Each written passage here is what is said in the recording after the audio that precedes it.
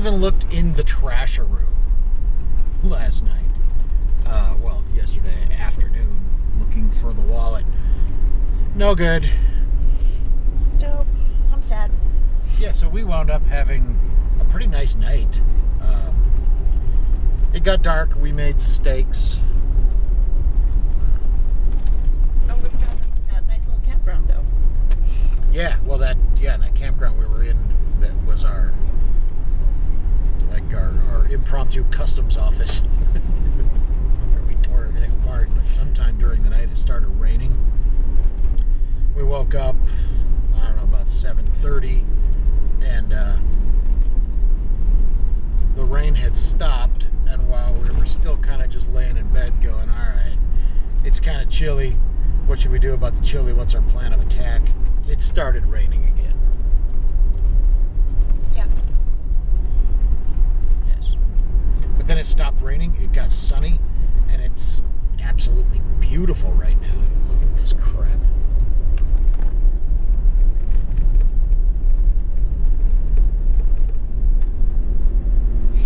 Yeah, it's very nice. Oh, you can see some clouds out on the horizon um, over in the, the next region. Look at those. Not terrible, but it's sunny where we're at right now. It's the temperature. It's cool, but it's not cold. Dragon Ladies has different ideas of definitions of cool versus cold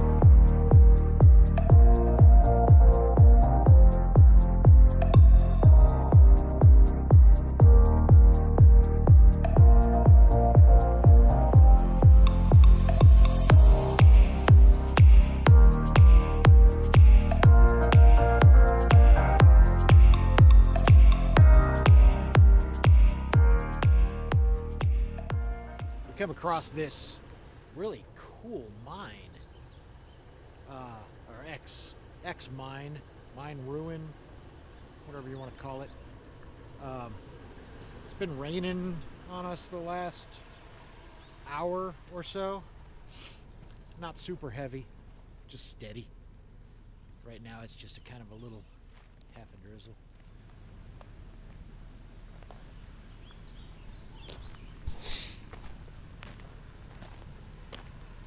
And it is the Empire Mine.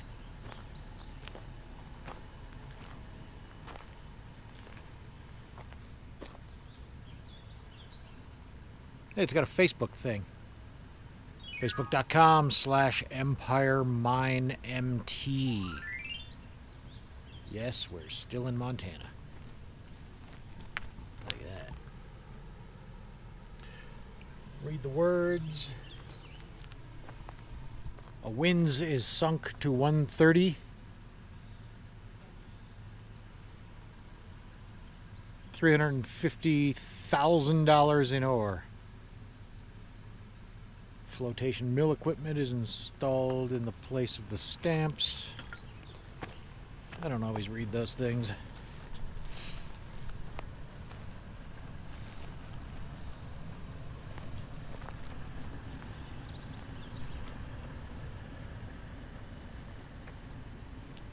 Go Dragon Lady. Pretty beautiful place, though. This valley. Incredible.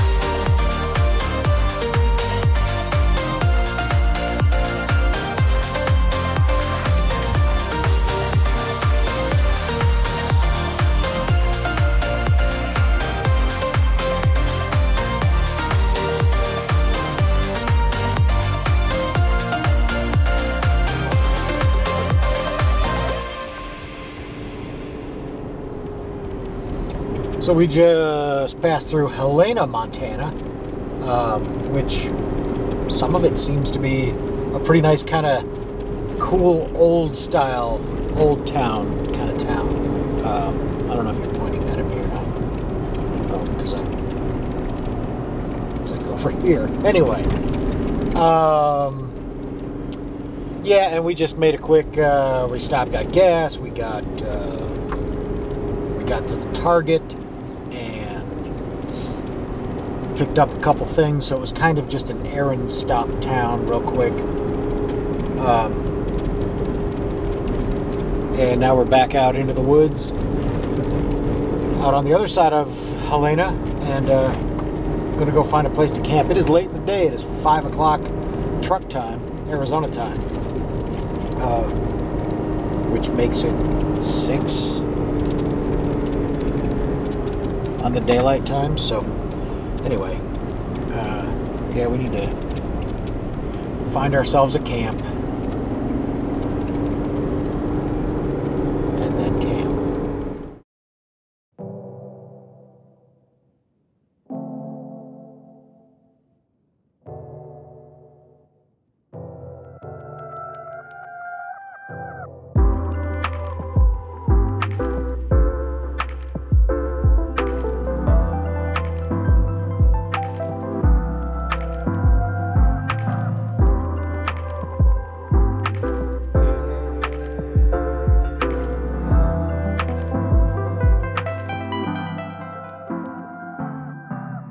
So we pitched camp for who knows what this is. Night three?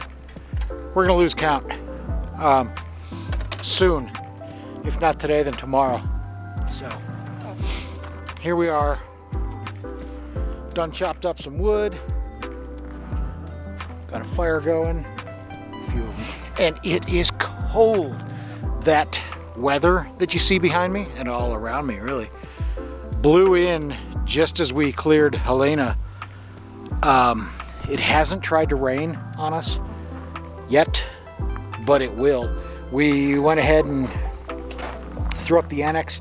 We have the heater on. It's still an hour before sunset, and it's uh, last I saw before I shut the truck down, the truck was reading 38 outside. So Somebody in Helena said they're expecting snow. Oh shit. I, I don't I don't know. Maybe it could. It probably doesn't, but it might.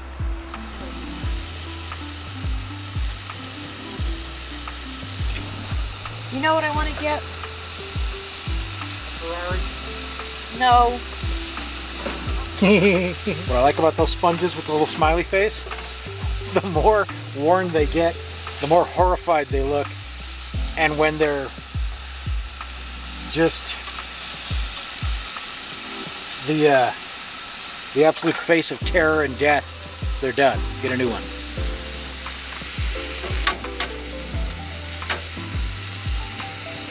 Uh, what are we doing with these? If not, they can I go to don't know trash what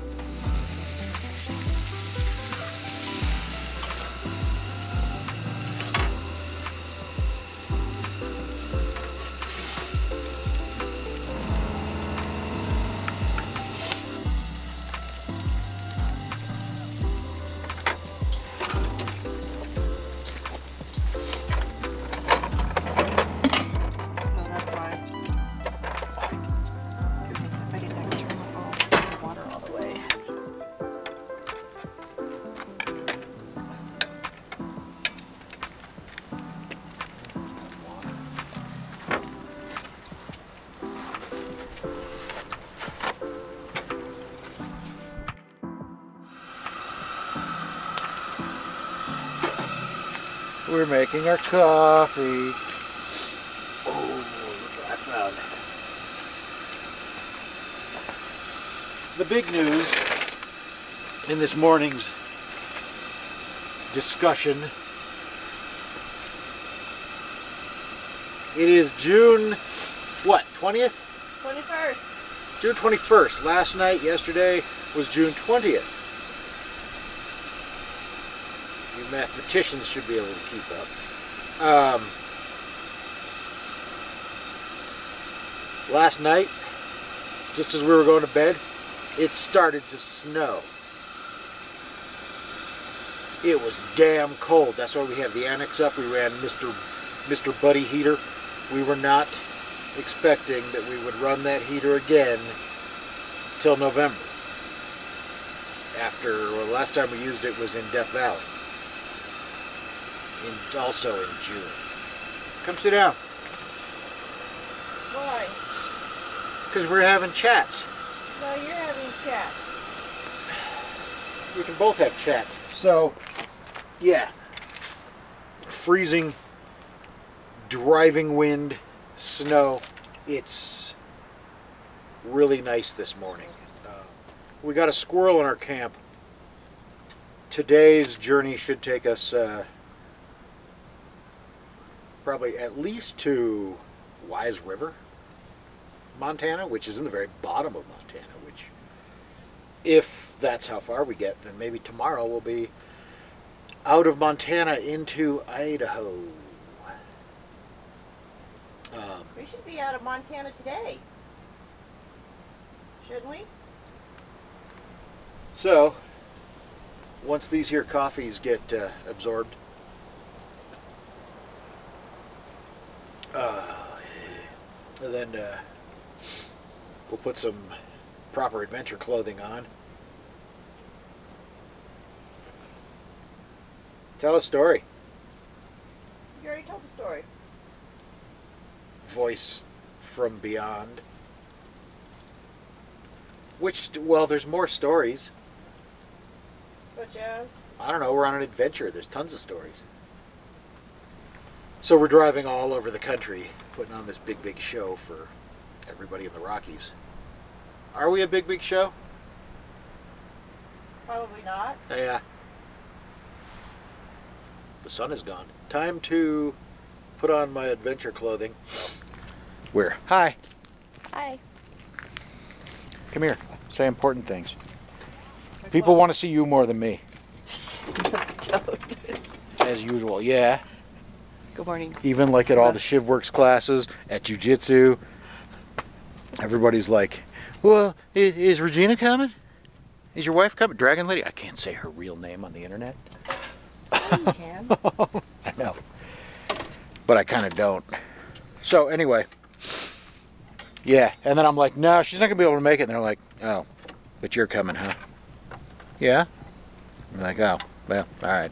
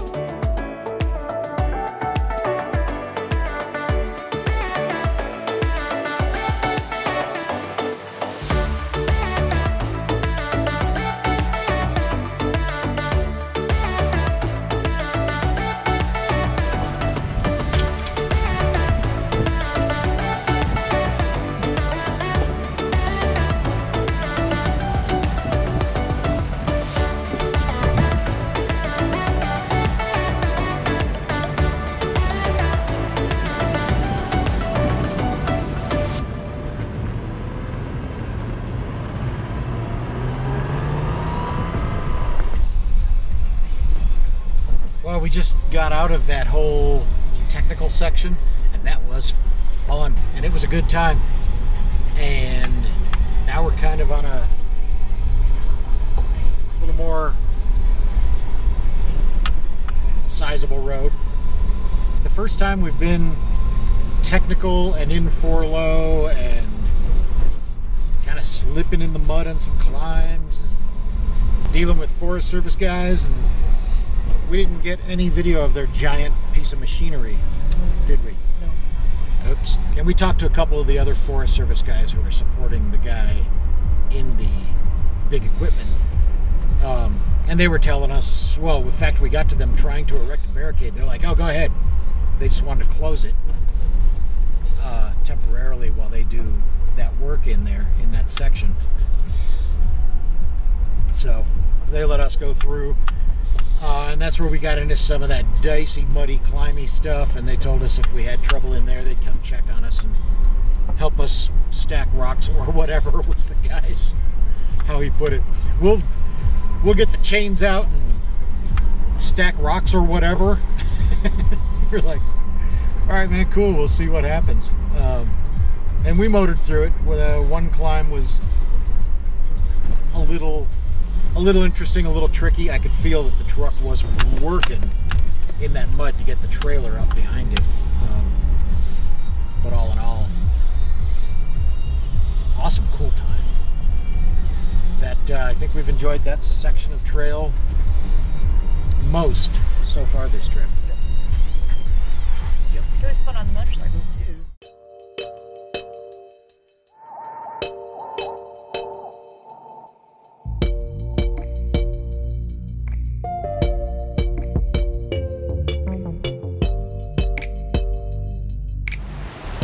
Things that just amazes us desert dwellers is the insane volume of just free water running all by itself doing its own thing. Look at this.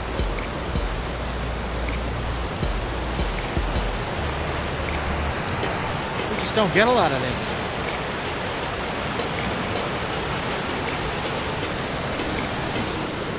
But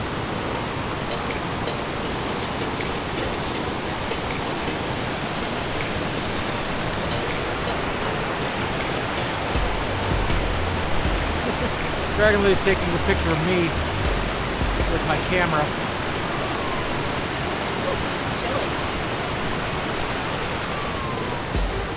It's just amazing.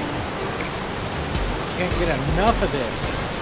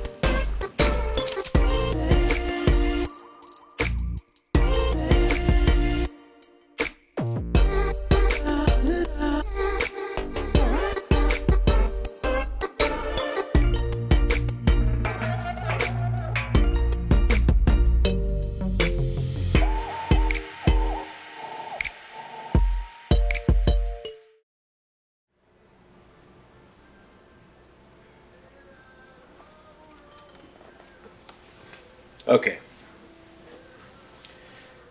We're doing this again. so here's what happened. And I don't want to just, well, in fact, I can't just edit my way through it, so I'll explain the problem. Um, and I've had this problem a bunch of times. If you follow this channel enough, you've seen this problem a few times where we're we're trucking along and we're having a fine time and everything's wonderful. And it's midday and then all of a sudden we're having coffee the next morning. Because what happens sometimes uh, that I'm still trying to trying to get myself better at making these little videos, telling these these little stories, is late in the day. We start looking for the for a campsite. Maybe we're getting hungry and just generally stop thinking about uh, video videoing anything.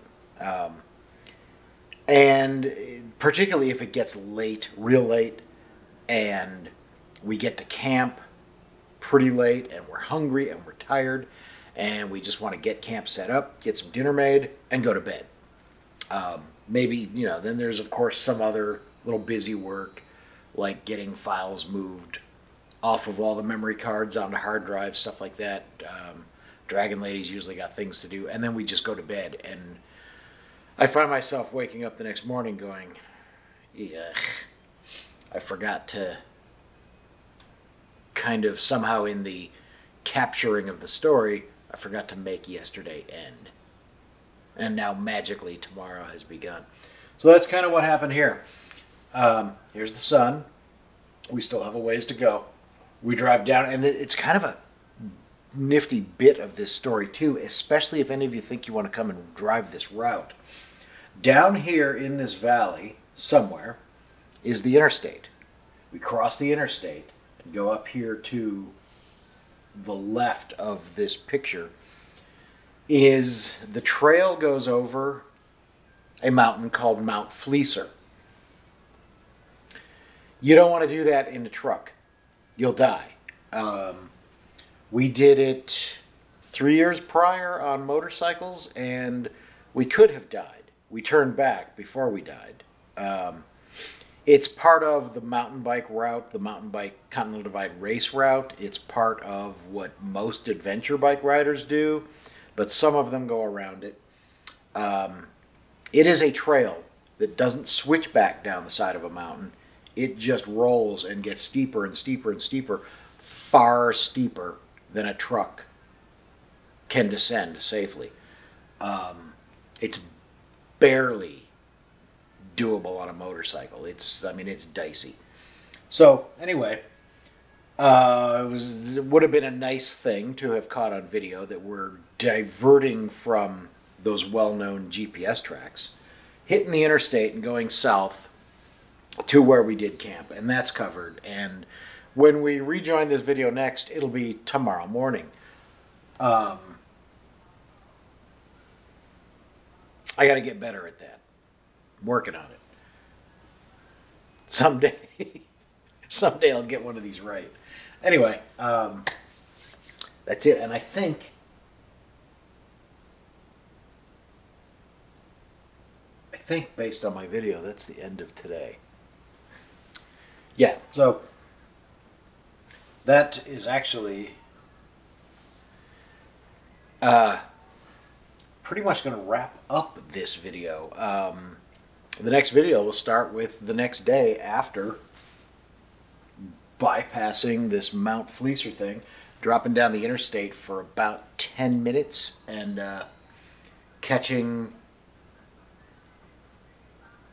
catching. Uh, I forget the name of the river. It's near Wise River, Montana, but uh, it was a campground at some big fork dirt road river, Montana. I forget. Um, but we'll cover all that soon.